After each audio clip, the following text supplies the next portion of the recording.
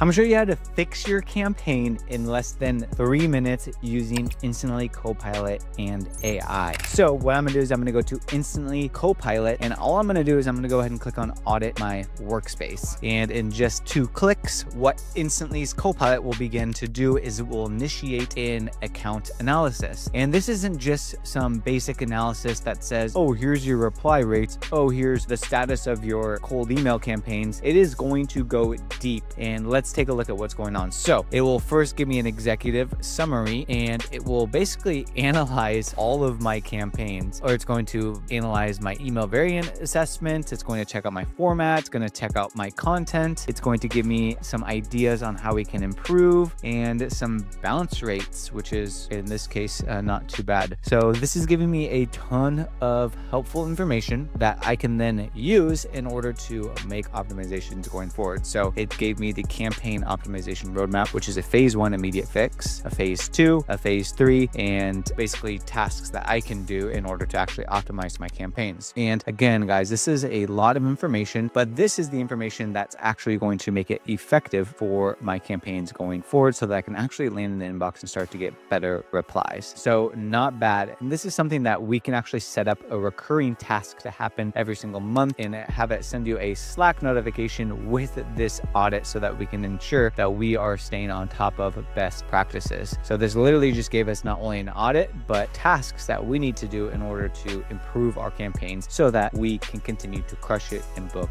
more calls. If you want to get started for free using Instantly Copilot so that you can improve your cold email game, just click the link down below or in our description.